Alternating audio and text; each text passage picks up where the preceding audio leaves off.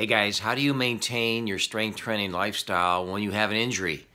Maybe you've got a shoulder issue, your low back is stiff, your knees are bothering you. All common things that show up in many adults. And to solve this problem, we're going to be talking to injury expert Jeff Anderson.